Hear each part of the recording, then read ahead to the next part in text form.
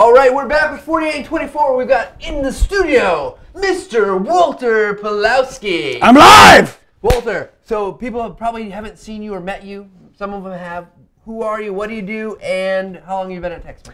I'm a customer solutions engineer here at TechSmith. I've been here for going on eight years, seven or eight years now. It's been a long time. Um, It's been a long time. It doesn't feel like a long time. I'm sure for my coworkers, it feels way too Forever. long. It feels, yeah. When's I- ever gonna leave? far exceeded expectations, quite honestly. um, but no, I uh, my job is to help out customers. To I'm a, a tech guy. Uh, I used to be a developer. I don't I don't do as much development anymore. But uh, I work primarily on our TechSmith Relay product. And I try to help customers. I'm still nerdy. I still write some scripts and macros and stuff like that. And so uh, I think half my job's helping out uh, customers, and then the other half's helping out fellow coworkers. So I, I write reports and things like that internally. And Walter, you're known, known throughout the company for your amazing emails that usually have about 30 links, images, all these things happen in them. I try to make them. in a while. I try to make them engaging. Yeah, Yeah, I, I figure in order to get read, you got to make a nice, engaging email message. And you're a passionate um, emailer.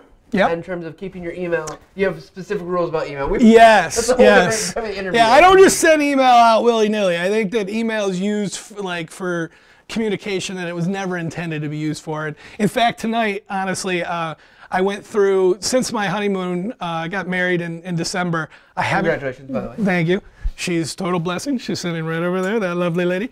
Um, but uh, I haven't I haven't caught up on email since December. We, we had a new product release. In my defense, we had a new product release. There were all kinds of messages, and it was you know everybody was out for. So I basically was off most of the month of December. You know, honeymoon, and then um, uh, holidays and stuff.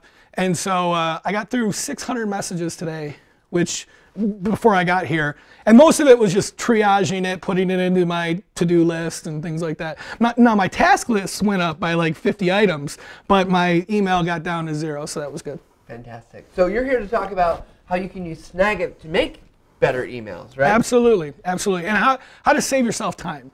For me, that, that's a big uh, passion of mine is is how you how you automate certain tasks, how you save yourself time, how you can get more done in in less. And um, there are some good features. This this uh, tutorial is more really about some features in Outlook and in Gmail, but I want to show you how you can make Snagit and all the image capture and, and video capture and Snagit that much more um, useful and applicable with these features. Cool. Let's so, well, let's dig in and see All what right. we got.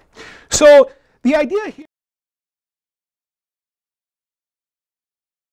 from from users, from from friends, from family members, um, asking you asking you things via email, and you want to give them a good response. My, my goal is to give somebody a really good, accurate response.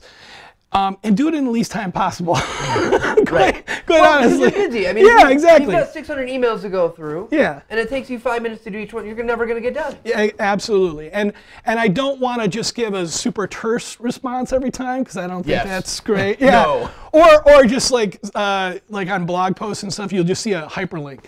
Like you know, somebody will ask it because they often ask me technical questions, and then like on a blog response, you would just see hyperlink, which is. Is, is kind of rude. I mean, it's helpful. I'm sure that people think they're being helpful, but it's kind of like saying, Google it, stupid. What, you couldn't Google this? Come on, it's no problem, hyperlink Let me Google that for you. exactly. So I try to put some context around that hyperlink to kind of lead them in the right direction. This is how you apply it. Here's some other resources and things like that. Very cool. So here's an example of something that you might get all the time. Somebody might ask you, okay, uh, where do you, um, how do I get to your office? Or how do I get to your home? Or Absolutely. something like that. So um, specifically this these instructions are for things that you're going to do again and again okay i wouldn't recommend this for every email message that you send but for things that you're going to do again and again Repeatable common tasks. absolutely so what i, I might say here is uh, here is how you can get to the techsmith corporate offices We get to watch him type. there we go. Isn't that great. awesome? Isn't that awesome? And then let's just go to this is the this is the Snagit portion of the of the demo. All right, so here's the just G our uh, Google Maps. So we're going to look up TechSmith. I'm going to take a nice quick screenshot here, go into the Earth view so they can quickly see the overhead view, and maybe we'll zoom it out just a little bit so they can see the right context. And then my print screen button on this keyboard is where? All right. I use full keyboards. I don't use these these crazy laptop keyboards. Well, we can talk about keyboards after the recording. Yeah, absolutely. Um, so you take your screenshot, right? And then, of course, I like to, uh, you know, tidy it up a bit. I might add some a blur effect around the edge, or um, specifically, you know, uh, maybe uh, call attention to exactly where um, the office is. So something like this. I'm This is actually where we are. Yep. Look at it, Google Maps. building 2365. Okay. Now, once again, this has taken me a little bit of time, right? So I'm not going to want to do this every time.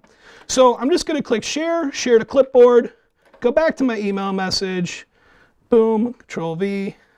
There we go. Okay. So I've got it. Maybe I'll shrink it down just a little bit, but that's helpful. And then what I also do is, hey, you know what? Here's the hyperlink right to Google Maps. So I'll bring that back up. If and I'll want to plug it into their phone or something. Yep. So right in here, gotta know your hotkeys. Control K, boom, add the address. There you go. And then do something else like, uh, and here is how you get to my office.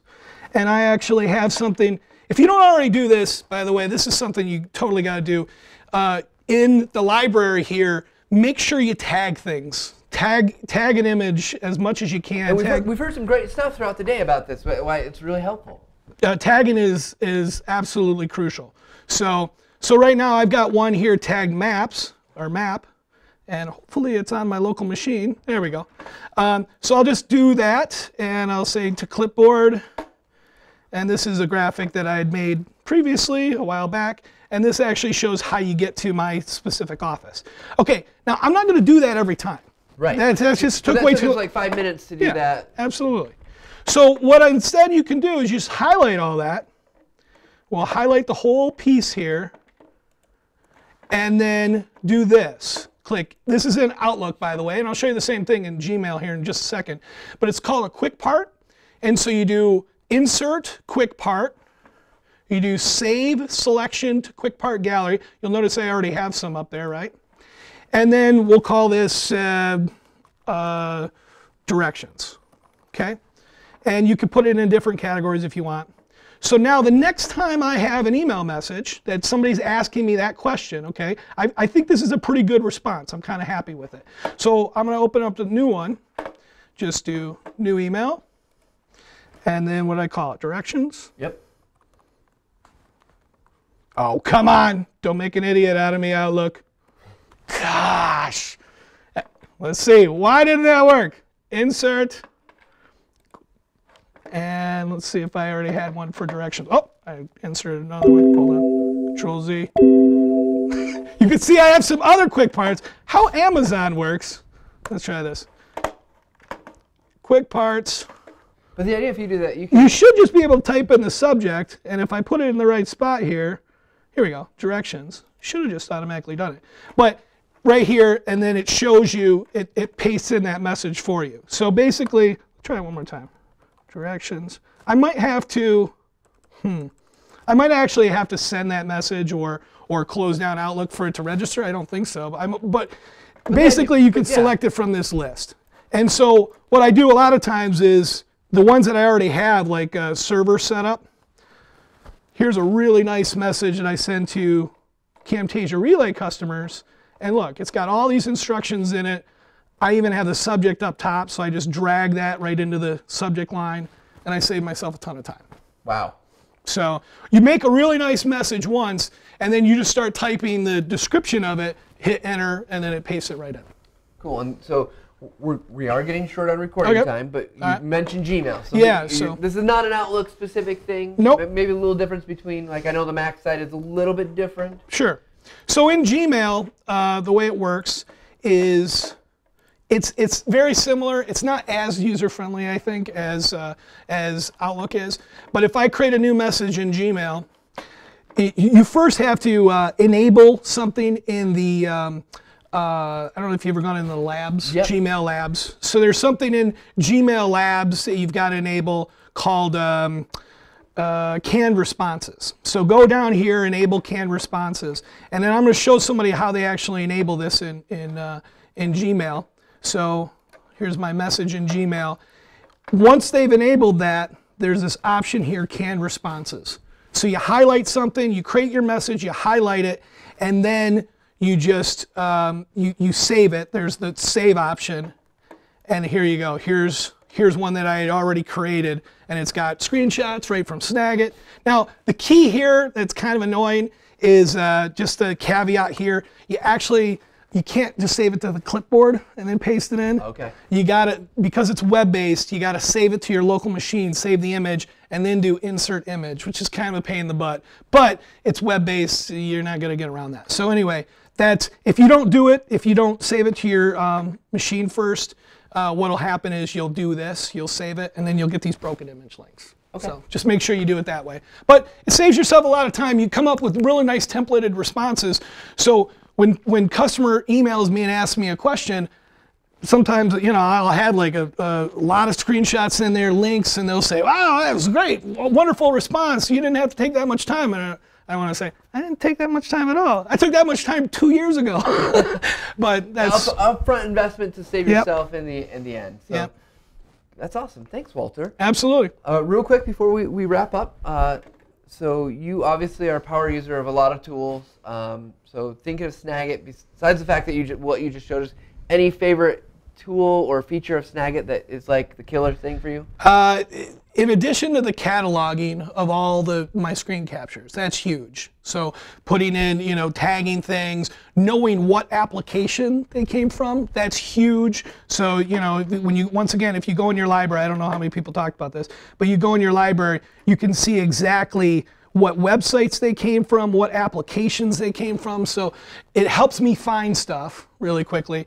Um, the other thing that's just amazing that um, not a, I, I don't think t- a ton of people use, but is the ability to do custom profiles. And I could go on and on about custom profiles down here, but like just this is a new machine, so this is very much pared down to what I from what I had. But like I created the all-in-one multi-select the other day because I was doing menus and stuff. This is super super powerful. You can make like it's basically like a macro within Snagit, and you can do lots of captures at once. You can not have it just you dump it right to the clipboard or do whatever you, you need it to do. Dump it into another program. You can save yourself countless hours if you learn how to do uh, profiles. And they're not hard to do. No, they're not. Just gotta know what you want. Yep. Awesome. Fiddle around. That's how I learn everything in, in computers. You fiddle around and then you ask questions for people that you know are subject matter experts in that area. So Walter, sit tight. We're going to continue our conversation, but we're going to end the recording now. Thanks again to Walter Pelowski for coming in and showing us tips on how to use Snagit, get images in your email to make that easy to reuse those over and over again. And we're continuing on with 48 and 24. And feel free to email me at w.pelowski at techsmith.com and I will send you instructions on how to do that because I've already made them quick parts. I'm not going to type them out each time. W. Pelowski. Good Yeah, luck. there you go. Look him up. he's, he's also, I think he's on Twitter. You can probably find him there. Yeah, don't don't tweet me. I don't I don't respond to Twitter. I don't like Twitter. Twitter's no. You're on there, though. I'm there, but I'm not going to respond. Send him an email. He'll send you a canned response. There you go. We'll be back in just a second to continue the conversation with Walter Pelowski.